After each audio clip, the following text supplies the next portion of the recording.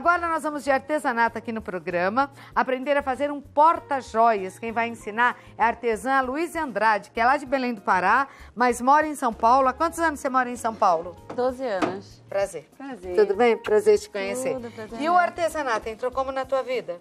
Entrou na maternidade. Engravidei, senti vontade de fazer as minhas próprias peças. Você já fazia alguma coisa antes? Não, nunca tinha feito. E não trabalhava fora, assim? Ah, eu trabalhava como corretora de imóveis. Ah, mudou totalmente? Vai por lá. Totalmente, Vai por lá, que eu vou por aqui só pra gente mostrar um pouco do seu trabalho. Me conta o que, que você faz.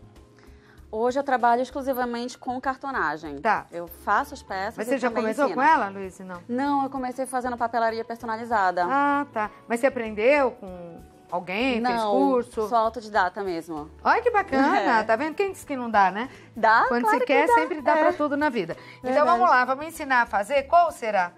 Pra eu mostrar. É essa peça aqui, ó.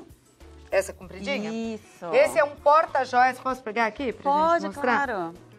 Tá aqui, ó. Me fala dele. Então, essa peça eu Abre, desenvolvi... abre assim? Como Ah, é com lacinho, ó. Só puxar. Ai, não, não vou estragar lá. Então, É forradinho por dentro? é, sim, Tá. toda pronta. Então tá aqui, ó. É um porta-joias. Legal que é um tamanho de colar, né? Isso, eu até trouxe colar aqui, ó. Você Né? pode também fazer como um spa, olha, um kit spa, colocar Tá, um creme. legal, pra dar de presente. Ou um chocolate. É, eu fiz pro Dia Internacional da Mulher.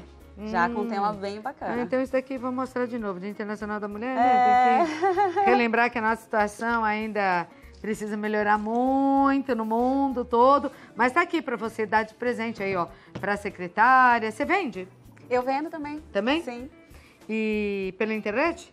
pela internet. Olha que bonito, dá pra pôr o que você quiser, uma caixinha. Pode ser um Isso. porta-joias, pra colares, pode ser, como você falou, um kit spa, pode ser Isso. sabonetinho, o que você quiser. é? Exatamente, é bem flexível. Mas deve ser difícil, não é difícil? É facinho, você vai ver. É mesmo? Nossa, passo Só a passo. precisa tirar da frente. isso Ah, tudo, claro. Tá? Ok. Vamos lá. Então por aqui... aqui desse teu lado, tá? Tá. Pra não atrapalhar a Uhum. gente. Então aqui eu tenho já a estrutura da caixa, Uhum. o molde, né? Que vai estar disponível aí pra vocês fazerem download. Sim, do né? portal A12, Santa Receita, barra Santa Receita. Então aqui eu pego, eu uso o durex mesmo. Uhum. E eu vou fechando as quatro laterais que já vai formando a caixa. tá Isso vendo? vende assim já? Não, esse, esse corte você pode fazer ou com estilete ou você pode mandar cortar em gráfica também, Tá. tá? Isso aqui é um papelão, Uhum. tá? Qual a gramatura? Esse aqui tem é, 1.8. Uhum. Mas pode ser 2 milímetros, 1,5. Essa é uma caixa pequena. Então a gente vai e fecha os quatro lados. Uhum. Esse é o primeiro passo. Depois a gente vem com um rolinho de espuma Uhum. e cola branca. A gente vai passar aqui nessa primeira lateral. Cola branca comum? Não, eu gosto de usar a PVA extra, Uhum. porque ela é mais forte e seca mais rápido. Cola branca PVA é. Isso. Aí aqui eu tenho um papel que, que a medida serve para revestir a lateral inteira da caixa. Então você precisa aqui deixar um centímetro para cima e um centímetro para baixo, tá vendo? Uhum. Em cima e embaixo. Passando, né? Isso, sempre sobrando, porque depois a gente vai fazer o nosso acabamento. Tá. Alisa. E aqui a gente vai fazer exatamente a mesma coisa em todas as laterais. Só que como eu já tenho uma caixa com todos os passos adiantados, eu vou já deixar o seguinte, ó. Aí vai sobrar um pouquinho aqui, você vai cortar esse excesso e vai virar só o que precisa, É tá? melhor você fazer isso. É, Pra que tá as bom. pessoas entendam. por favor. Claro. Então aqui a gente vai e reveste todas as laterais. Tá. É o mesmo processo, Uhum. só vai alisando e toma cuidado para, por exemplo, não faltar aqui Tá. quantidade de papel em cima ou embaixo. Só esse acabamento aí que é importante ver. né? Sim, sim, é verdade. Então aqui, fechou, a gente pega e corta esse excesso aqui. Mais ou menos um dedo, Uhum. uns dois, um centímetro, um centímetro e meio. Aí você faz o acabamento com o pincel. Ah, tá. Mas você cola também essa parte? Isso, aí a gente vai colar. Pronto. Depois desse processo, a gente vem com a tesoura nos quatro cantinhos e faz esse corte aqui sempre nos quatro cantos. Tá. Porque agora a gente vai precisar virar esses cantinhos para dentro. Uhum. Faz o acabamento dessa forma, com o pincel também, cola. Aqui é importante que você use pouca cola, tá? Senão Uhum. fica um acabamento feio. Tá? Aí você vira isso aqui para dentro. As quatro laterais são iguais. E aqui a gente tem uma espátula que vai ajudar nesse processo, tá? A fixar bem aqui dentro. Toda vez que você fizer uma lateral, você sempre faz a lateral oposta na sequência. Acabando essa parte de cima, quando você virar todas as laterais aqui, a gente vai virar da mesma forma a parte de baixo, tá? Ó, então virei uma, virei a, a Uhum. do lado oposto. Vai aí viro todas. essa, essa e de baixo a mesma coisa, tá? Depois que a gente fizer isso, então eu já tenho aqui uma caixa totalmente Toda virada. prontinha. Aí é só esperar secar. Não, não precisa nem esperar Não? secar, não. Não? Já A pode caixa tá continuar? pronta. pode. Aí aqui, por exemplo, eu tenho a tampa. Uhum. Aqui eu já adiantei esses dois passos, que eu vou fazer o terceiro, que é igualzinho. Tá. Isso aqui chama régua de encadernação. Uhum. Então a gente precisa dessa régua para dar o espaço perfeito aqui para formar a tampa, tá? Então cola aqui no papelão. Esse papelão, então, você compra ele todo... Compra e vai sair cortando. Isso, é, eu compro uma placa grande de 70 centímetros por um metro e depois eu corto nas medidas que eu preciso, porque a gente consegue fazer caixas em tamanhos variados, formatos variados e assim por diante. Então aqui eu tenho a régua de encadernação, coloco ela aqui e dou sequência. E com tesoura mesmo? Você corta? Não, não, Não? tesoura não. ser Pode ser com guilhotina. Eu Ah, é? prefiro guilhotina. Uhum. A guilhotina dá um acabamento perfeito. Ó, e essa espátula aqui, ó, Opa, vai deixar boa, bem hein? lisinho, tá É. vendo? Ficou mesmo. Agora aqui a gente precisa cortar os quatro cantos, Uhum. que é para fazer um acabamento perfeito. E lembra como a gente fez na caixa, que a gente virou Sim, os quatro a cantos? A, gente mesma vai fazer a mesma coisa. Então eu já revesti os três Uhum. lados, ó. Tô no último aqui. Uhum. E agora... Sempre com a espátula, né? Ah, eu gosto da espátula É. porque ela agiliza o processo, né? É. Ele fica bem retinho também. Então agora a gente vai colocar a nossa fita, Tá. que é a gente vai fazer o fechamento com laço. E ela já tem que ser colada aí. É, a gente já cola aqui antes de dar o acabamento. Vamos colar aqui. Parece tão gostoso ver você fazer. Ah, é muito bom mesmo. Deve distrair também, não é? Super, Você né? tem filhos? Eu tenho, eu tenho dois filhos. E dá pra trabalhar de boa, assim, né? Dá. Hoje eu já tenho meu ateliê, Sim. né? Fora de casa. Você dá aulas. Dou aula. Onde é o teu ateliê em São Paulo? Meu ateliê é em Santo Amaro. Ah, tá. Que lugar lá? Pode falar. Ah, é perto do da estação de trem de Socorro. É? Aham. Depois eu deixo aqui o endereço, mas você é de São Paulo já se localiza aí pra saber, pode fazer as aulas. Dá pra ganhar um bom dinheiro?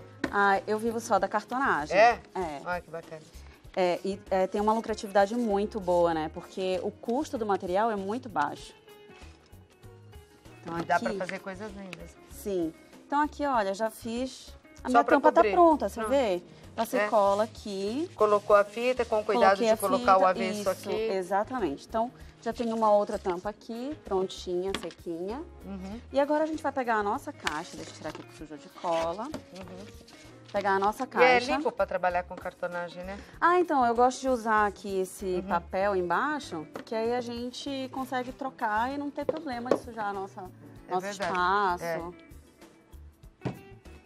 Então, agora a gente só precisa passar a cola aqui embaixo. Uhum.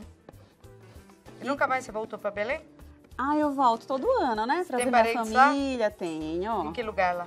É Belém mesmo. É, capital, Belém, Belém mesmo, na capital? Aham, sim. Vai ter um bairro, alguma coisa assim? Ah, Souza, bairro Souza. Souza. É. Então, atenção, pessoal do Souza. Olha quem tá comigo aqui, a Luíse. Beijo pra Belém do Pará, né? Terra das mais lindas lá, meu Deus. Ah, é maravilhoso Saudade de ver o mesmo. peso. Ai, tu conhece Belém? Que máximo! Isso. Ilha de Marajó. Isso, ai, é muito bom. Saudade da minha terrinha. Uhum. Olha, então aqui você faz pressão, né? Passou cola, faz pressão. E a caixa já tá praticamente pronta. O que a gente precisa, né? De um De uma decoração. Aqui. Isso, ó. Já tem uma arte aqui. Isso daí o que, que é? Você faz, né? Deve Ah, fazer. eu que fiz, é. Mas eu posso comprar, pronto. Posso Pode. comprar até de você, que você sim, vende, né? sim. Essa arte eu desenvolvi no Tá. Photoshop, Uhum. né? Especialmente Mas hoje em cá. dia tá mais fácil, né? Sim, você pode usar. Muita gente já faz pelo computador. Com certeza. Então aqui você encaixa certinho. Já faz no tamanho. É, no tamanho certinho, pronto. Colo, minha tampa já tá 100%. Ela fez com esse intuito, por isso, isso. vamos virar aqui ó, pra ver. Vendo? Feliz Dia da Mulher. É. A ideia é que você coloque na caixinha o que essa pessoa mais gosta. Isso, exatamente. E aqui dentro, até para dar um acabamento, para ficar legal, Sim. eu colei esse outro adesivo. Ah, ficou lindo, pode Ai, colar. olha. Lindo esse também. É, Você- quem e- fez também? Eu que fiz, isso. E fez tudo tom sobre tom, fica É, bonito. sim. Que é um cuidado que tem que ter, né, Luiz, quando Sim, faz esse tipo precisa, de trabalho. precisa. A gente se preocupa com todos os detalhes É. mesmo.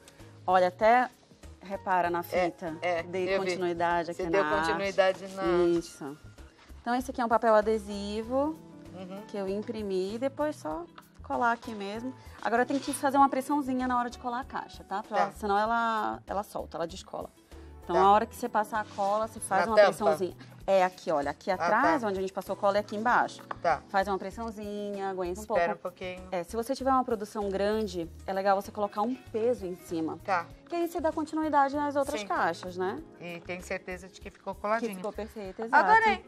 Que bom. Lacinho pronto e a caixinha prontinha tá ali, ó. Exatamente. E ela faz tudo isso daí, né? Faz porta tudo. É, sim, lembrança Quer guardar? maternidade. Fala é. com ela. Lembrança de maternidade, lembrança infantil, tudo muito bonito, muito caprichado, gostei. Enquanto a gente passeia aí pelos trabalhos da Luiz Andrade, artesã, que veio lá de Santa Amaro, beijando o pessoal aí do bairro de Santa Amaro, em São Paulo, participar do nosso programa. Eu vou deixar aqui os contatos. Deixa eu ver se eu acho. Não tô achando teu contato. Qual é o teu contato?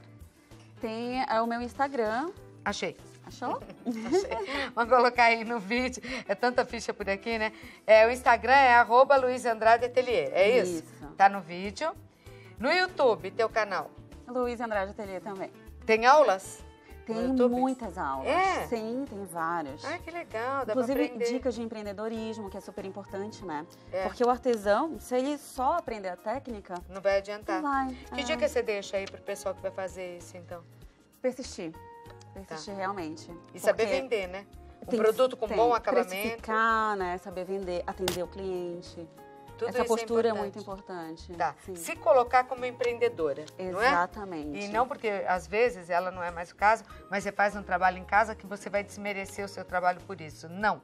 Saiba cobrar, saiba vender, seja simpática, que se vende mais. É isso não é verdade? mesmo. Então, a telefone em São Paulo do ateliê é 11, o código de área 99588 7862. 99588 7862.